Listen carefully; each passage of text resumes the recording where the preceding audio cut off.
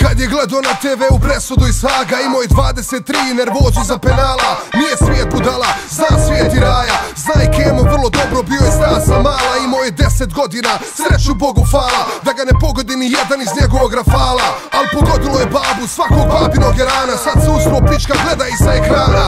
I izrekli su presudu, al Kemo to ne konta. Kako god u glavi okrene, ispadne sramota. Ovo je bio sicer, ovdje nije bilo lota. Imali su iz milioni dva bloga O tom ko je vidio gdje je ubio on i koga. Al naši advokati puni holandskog smoga. Kemo ne zna da li droge ili život za Boga. Pjevaj! Niko ko mi je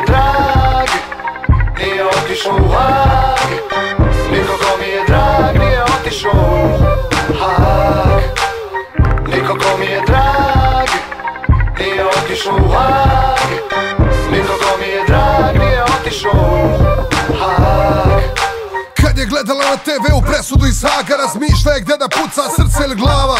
Kako manje da boli, ona njega voli. Političare kurac boli, njih su slali na goli. On je bio samo vojnik, al njezina maza.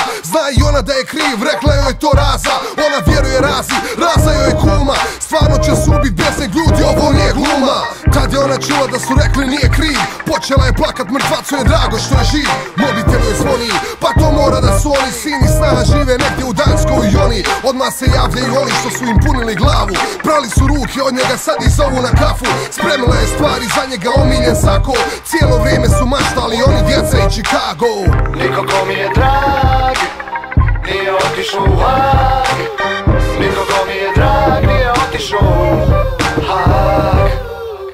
Niko ko mi je drag Nije otišao u Niko ko mi je drag Nije otišao